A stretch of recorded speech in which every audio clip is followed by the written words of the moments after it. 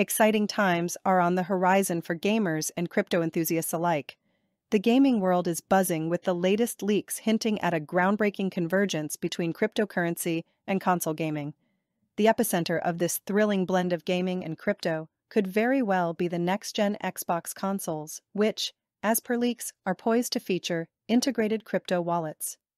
This bold move is seen as a potential game changer, redefining the financial dynamics of the gaming industry by embracing the GameFi, gaming finance, trend. Now let's talk about KOMPETE, a name that's emerging as a potential flag bearer of the crypto console movement.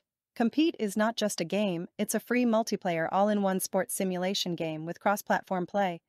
But here's the kicker it's not confined to your typical gaming platforms. It's busting out into the realms of Xbox, PlayStation, PC, Android, and iOS.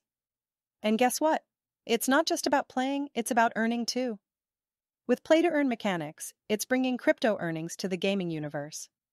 KOMPETE is ready to roll out with NFT, non fungible token support, marking a new era where gaming marries cryptocurrency in a union that's set to rock the console world. So, what's the big fuss about?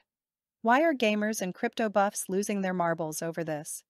The answer lies in the leaked documents from the recent Microsoft versus FTC court case, which have shed light on Microsoft's ambitious roadmap for Xbox. The leaks suggest a noteworthy entry of crypto wallet support slated for May 2022, heralding a future where gamers can manage their digital assets right from their consoles. This isn't just a win for Xbox gamers, it's a colossal leap toward a new gaming economy where your digital earnings have real world value.